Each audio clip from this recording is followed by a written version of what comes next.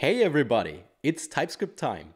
And today I want to talk with you about switch statements because you can actually hurt yourself if you don't use the cases properly with a break statement or a return statement. And I will show you what are these problems, how you can avoid them, and also how TypeScript can help you to never forget about a return or break statement in your cases.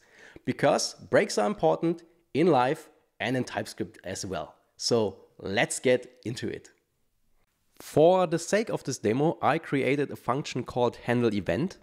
And in handle event, I have a parameter called event type that can be of error, info, or warning. So I have a union here with this literal types of error, info, and warning. And in case there's an error, we will handle the error. In case there is an info, we inform the user. And in case of warning, we'll do a console warning to warn our user. I will call handle event with warn. So when it reaches our switch case statement, it will go into the warn case and print a warning on the console. As always, I will prove that to you by running the code from the terminal. I will use the development dependency ts node to execute my switch case TypeScript code. And as promised, we see here now the warning for our user. That looks all right. So where's the problem now? Well, let's see what happens if we supply info.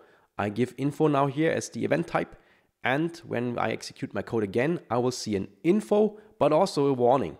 And it gets even worse when I do the same with error. So when executing handle event with error, we'll see a console error statement and the info plus the warning. In technical terms, we call this a fall through case. When we supply the error, we will hit the error case, but then our code will continue with info in the warning. So it will start with the first case that it matches and then continue with the execution statements of all the other cases. I will prove that to you by just changing the order here. So I will have error as the second case, and then there will be the console error and console warning directly after one another. So we will also see just two now, the handle error and the warn user log statements.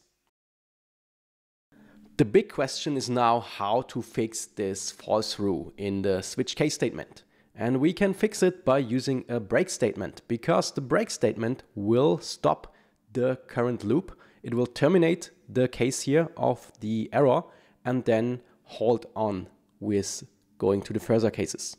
Let's see what happens. So I have the break now here and we will see that we will get stopped after the console error statement with handle error. We can achieve the same by using return. Returning will also prevent our code from continuing with other cases. So here we will again be stopped with handle error. Since my code is not returning anything useful, I will stick with the break. So let's add the break to the error case, the warn case, and also the info case. We have fixed our error-prone switch case construct. But we have to remember to put in the break statements. So if we forget about them, it can still come to errors. Fortunately, TypeScript has a type checking feature for us in place.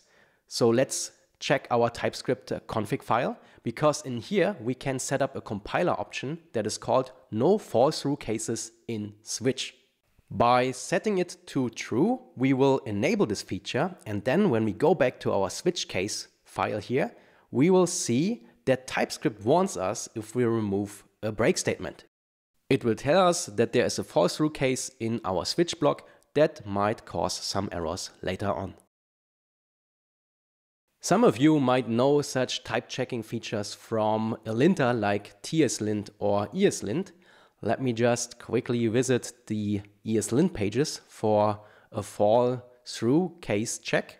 So if I open here the eslint docs, then we'll see that they also have the capability to catch these kind of problems.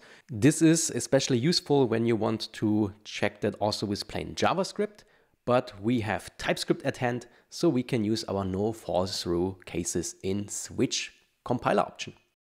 Here is one bonus tip from me as we are learning how to improve our switch case statements.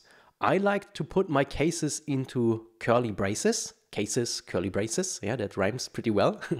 because when we create curly braces around our statements here, then we create a new scope. Let me show that to you with a variable called text.